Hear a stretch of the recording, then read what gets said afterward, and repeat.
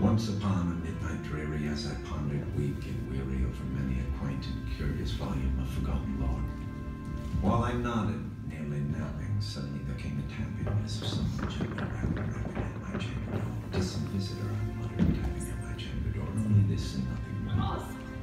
Just one epithet I muttered as inside I gagged and shuddered when with manly flirt and flutter in there flew a stately raven, sleek and ravenous as any foe, not the least obeisance made he, not a minute's gesture toward me of recognition or politeness, but perched above my chamber door, this foul and salivating visage insinuating with its knowledge, perched above my chamber door, silent sat and staring, nothing more.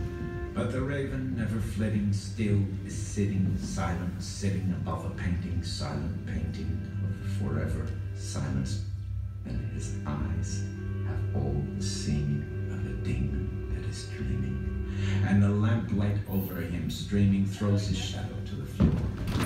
I love she who hates me more. I love she who hates me more. Quoth the.